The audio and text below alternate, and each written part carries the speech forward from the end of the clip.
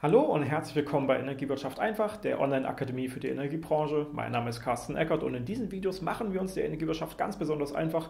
Heute geht es nochmal um Unbundling. Und zwar ganz konkret geht es um die Perspektive von kleinen Energieunternehmen bei eben der Entflechtung von den Stromnetzen.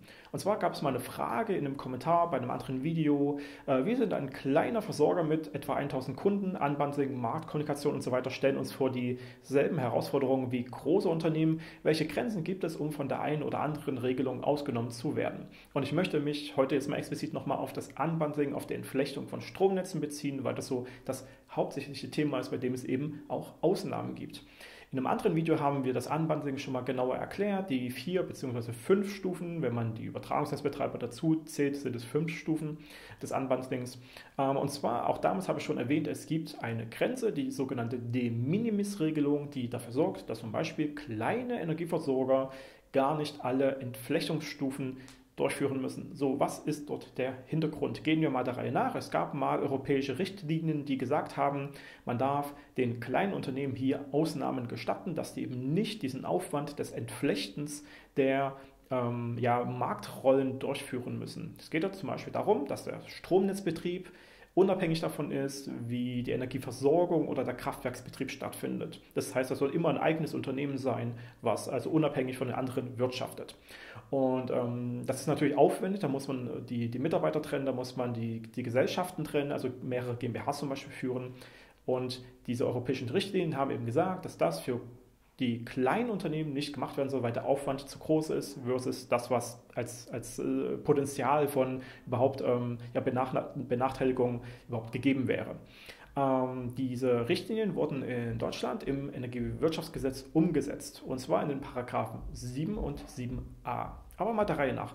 Im Paragraph 3 des Energiewirtschaftsgesetzes haben wir die Begriffsbestimmungen. Und dort gibt es unter Punkt 38 das sogenannte vertikal integrierte Energieversorgungsunternehmen. Das sind praktisch Energiekonzerne.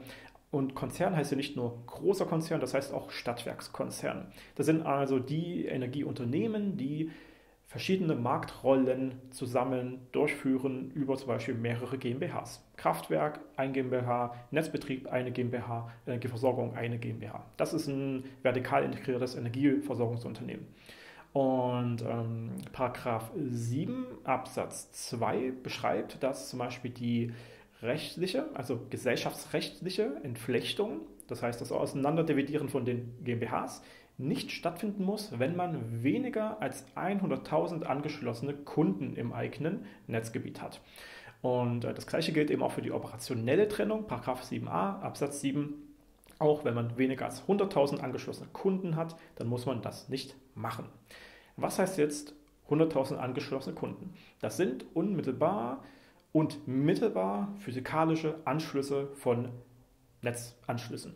Ähm, mittelbar heißt hier auch, dass zum Beispiel ein Bündelvertrag für ein Gewerbegebiet nicht dafür sorgt, dass es weniger Anschlüsse sind. Dann ähm, gibt es zwar vielleicht nur einen Liefervertrag, aber trotzdem gibt es dahinter noch 30, 40, 50 weitere einzelne Anschlüsse. Und diese werden auch alle gezählt.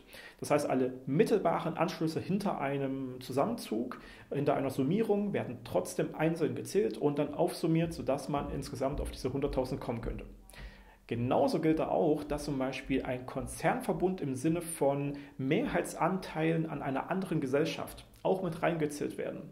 Wenn wir als Stadtwerk nur 70.000 Kunden in unserem Gebiet haben, wir sind aber auch Mehrheitsgesellschafter von einem anderen Energieversorger irgendwo oder Netzbetrieb irgendwo, der nochmal 40.000 Kunden hat, dann werden diese 70 und die 40.000 zusammengezählt als 100.000, 110.000 äh, Kunden und damit kommen wir über diese Unbundling-Grenze.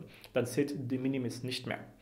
Ähm, diese beiden Sachen muss man also betrachten. Einerseits die echten physikalischen Anschlüsse, die unmittelbar und mittelbar gezählt werden, also auch hinter einer Summierung. Und andererseits der Zusammenzug von ähm, ja, Mehrheitsanteilen an anderen Gesellschaften. Das wird dann immer mit reingerechnet in die eigene Anzahl. Ähm, diese Unterscheidung, dass wenn man weniger als 100.000 hat und dann deswegen diese äh, dieses Unbundling nicht machen soll. Das rührt halt tatsächlich am Ende daher, dass ähm, der, der Aufwand, die Kosten, sowas zu machen, also Mitarbeiter in verschiedene Räumlichkeiten, in verschiedene Gebäude am besten noch setzen und halt auch mehrere GmbHs führen mit einem entsprechenden administrativen Aufwand auch dahinter. Ähm, nicht dem tatsächlichen Potenzial von ja, Benachteiligung und äh, Diskriminierung im, im wirtschaftlichen äh, Sinne ähm, sich aufwiegen würden. Und äh, das kann man ein bisschen nachlesen, wenn man äh, das Vorliegen hat in den üblichen in, äh, Kommentaren des Energiewirtschaftsgesetzes, wo es also äh, ein bisschen genauer auseinandergenommen wird. Es gibt da jetzt viele Erfahrungen. Schlussendlich gilt zum Beispiel so ein Unternehmen wie aus der Frage mit ungefähr 1000 Kunden, ihr müsst halt auf jeden Fall die Systeme trennen, ihr müsst die äh, kaufmännischen Vorgänge trennen, die ersten beiden Stufen des Unbundlings, aber die Mitarbeiter und auch die Gesellschaften müssen nicht voneinander getrennt werden, wenn ihr eben nur so wenige Energieversorgungskunden oder Netzkunden habt. Das ist dann kein Problem. Ja, soweit eigentlich ähm, zu den Hintergründen dieses Unbundlings äh, und der Ausnahmen für, dem, äh, für das Unbundling, wenn man ein kleines Energieunternehmen ist. Ich werde mal schauen, ob es noch weitere interessante Ausnahmen gibt. Wenn ihr welche habt, schreibt die mal unten in die Kommentare. Auch wenn ihr irgendwelche Fragen habt, unten in die Kommentare. Und äh, hier zeige ich euch nochmal das andere Video zum Thema Unbundling. Und ansonsten abonniert den Kanal, wenn ihr es noch nicht gemacht habt. Bis zum nächsten Mal bei Energiewirtschaft einfach gemacht, bei der Online-Akademie für die Energiebranche. Mein Name ist Carsten Eckert.